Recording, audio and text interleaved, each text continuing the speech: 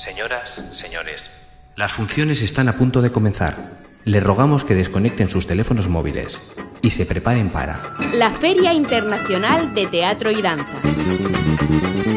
del 1 al 5 de octubre en Huesca. Solo faltas tú, espectador.